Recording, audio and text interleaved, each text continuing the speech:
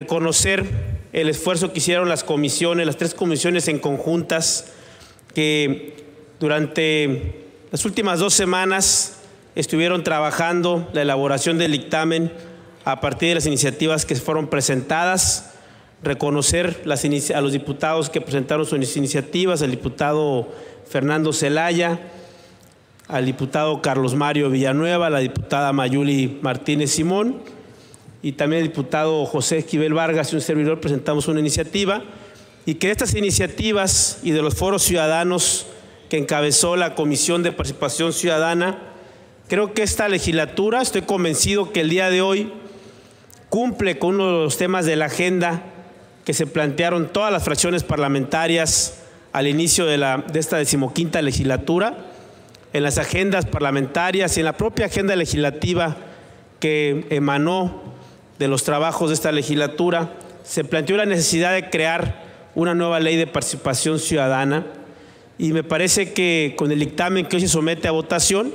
se cumple cabalmente con establecer nuevos mecanismos que permitan empoderar a los ciudadanos de Quintana Roo, con nuevos mecanismos que permitan que los ciudadanos puedan opinar y puedan pasar de la democracia representativa a la democracia participativa. Si bien en la ley todavía vigente ya existía la figura del referéndum, del plebiscito y de la iniciativa popular, me parece que con las iniciativas presentadas por los diversos legisladores se facilitan los mecanismos de participación, se clarifican los procedimientos para que en Quintana Roo pueda empezar a utilizarse estos mecanismos de participación ciudadana. Cabe mencionar que no hay antecedentes de ejercicios con la ley de participación ciudadana vigente, por lo cual me parece que los trabajos van a fortalecer en mucho y también con propuestas eh, nuevas que se hicieron, particularmente la iniciativa que escribimos el diputado Esquivel Vargas y un servidor. Planteamos dos figuras que son retomadas en el dictamen. El primero, el de la silla ciudadana,